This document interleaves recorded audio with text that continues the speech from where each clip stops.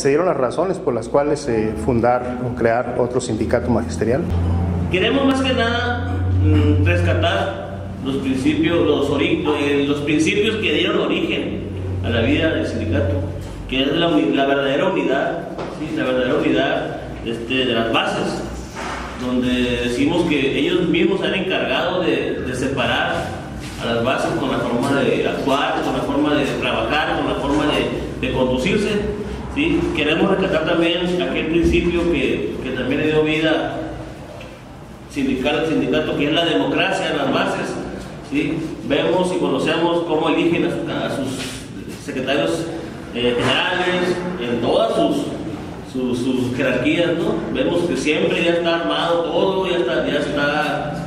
Para ser más, más específico, nunca hemos elegido a nuestros dirigentes sindicales en ningún rango, siempre ha sido armado o por favores políticos o un, o un personaje político decide quién queda o quién se va. Entonces ya estamos cansados de eso, ya no queremos eh, que exista la democracia, queremos que realmente se convoque, se convoque a las bases y se consulte a las bases qué es lo que quieren y a quién quieren sindical. Y la otra, pues la autonomía, la autonomía del trabajador también para decidir que no le impongan que no, le, que no lo guíen, que no le quieran decir qué, cómo, cuándo, que él sea, el, por, por, ser la misma persona, que él diga qué es lo que quiere para, para como, trabajador.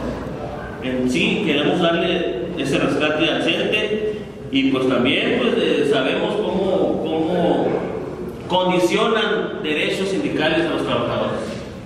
Condicionan préstamos, condicionan interinatos, condicionan infinidad de cosas cuando son derechos del trabajador, cuando el trabajador se le descuenta una cuota sindical, cuando el trabajador aporta una cantidad para, para su ahorro, ¿sí? y todo eso viene condicionando y nos hemos encontrado eh, verdaderamente mucha inconformidad en la gente, bastante inconformidad. Eh, fue una sorpresa para nosotros ver cómo está la gente dispuesta a entrar a este, a este proyecto, a esta, a esta nueva conformación.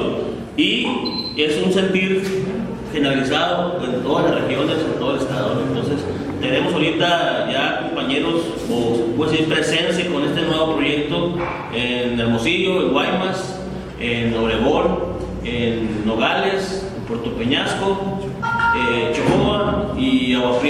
¿sí? Entonces, este, es en sí, en, general, en particular esos municipios por lo pronto, pero creemos que son los más municipios más grandes y más importantes en cuestión de la vida sindical.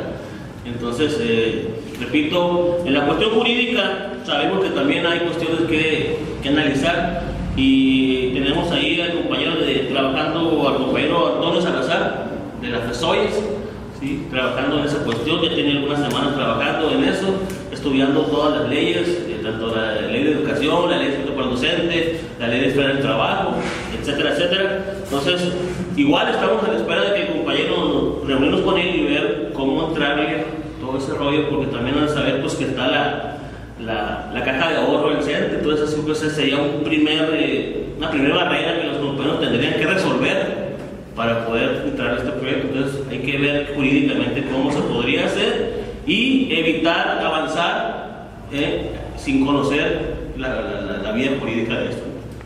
Así es. Sonora está el fenómeno de la reforma educativa y ese es, el, es, el, es, el, es donde el magisterio está más, más sentido, más golpeado y es lo que ha dado pie a que, la, a que los maestros ¿sí? digan sí entro al nuevo proyecto. ¿sí? ¿Por qué? Porque el CENTES es, es, es eh, es el hermano chiquito del, del, PRI, el caso del Pacto por México. Pues ellos fueron parte de, ¿sí? de estos paquetes de reformas. Entonces, creemos en Sonora, siendo considerado un estado más tranquilo en cuestiones de movilizaciones y, y de presencia en, en, en, en, la vida política sindical, ¿sí? Eh, imaginamos o estamos eh, casi casi completamente seguros que a nivel nacional, donde hay más movilización, pues tendría un impacto considerable.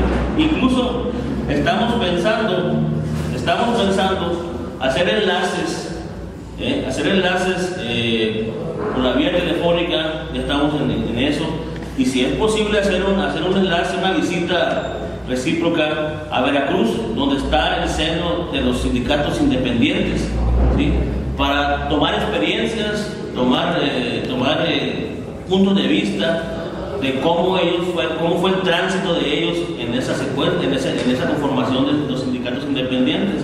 Entonces, todo eso está visto, todo eso está bien analizado. Como te digo, no es un trabajo que pensamos ayer o ayer, es un trabajo que desde hace mucho se nos viene planteando por la misma base, ¿sí?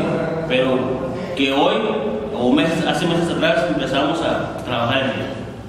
Así la cuestión.